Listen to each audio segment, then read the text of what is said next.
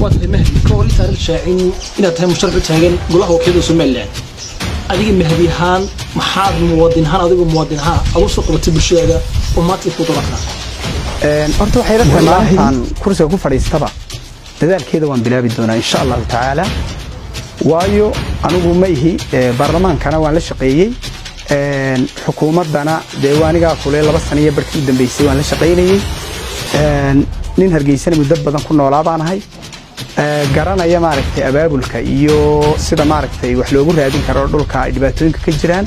Marka maalinta koowaad ba insha allah waan bilaabi doonaa halgankaas. Inta badan xildhibaanada laga soo gobolka awdal markay tagaan kursiga ee doorashadu dhammaato ay ku guulaystaan waxaa aad loogu hantaa in deegaanada laga soo doortaa inay dib ugu noqon oo baahiyihii deegaanadaasi ay iska ilaawaan maalinta ay doorashada ay ruuha haddana ay u soo tumayaan haddii ay rabaan marlabaad inay haddana deegaankii ay ku noqdaan iyadoo ay ugu dambaysay markii ay soo doorteen hore markaa fikirka noocaasa adiga mahdihaan maxaad ka bedeli kartaa haddiiba aad noqotid xildhibaan waxaa ka mid ah waxaa ka mid ah. horta anoo ardaya oo jaamacadda camuud dhigta ayaa waxaan aasaasay iskuul.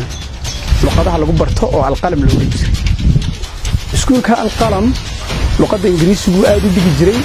Ardaydii ka baxday wuxuu saamayn ku yeeshay inay waxbarashadii kale ee jaamacadda ay ardayda u sarraysa noqdaan saa daraaddeedna iminka waxaad helaysaa adduunkao dhan iyo waddankaba waxaad ka helaysaa iyagoo dhakhtarraa iyagoo injineeraa iyagoo maaragtay meel kastaba nolosha kaga jira.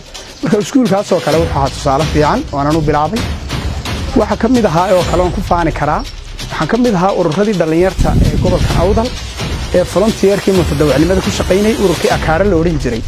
Ayaan aasaasayaasheedii ka mid ahaa ururkaasi wax badan buu gobolka ka qabtay laakiin waxa ugu muhiimsanaa wacyigelintii aidiska oo berigaa loo arkayay aidisku inuu ku dhaco uun dadka gaalada ah. Gobolka awdal aad jeceshayna ku madashid golaha wakiilada somalilan waxaa jira inuu aad uga tabanayo dhinacyada sami qaybsiga.